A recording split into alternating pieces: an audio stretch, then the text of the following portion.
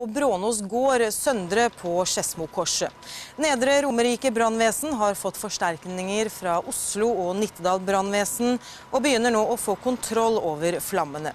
To personer er sendt til sykehus med lettere brannskader, og det var en stund fare for at gassflasker i et bilverksted i bygningen skulle eksplodere.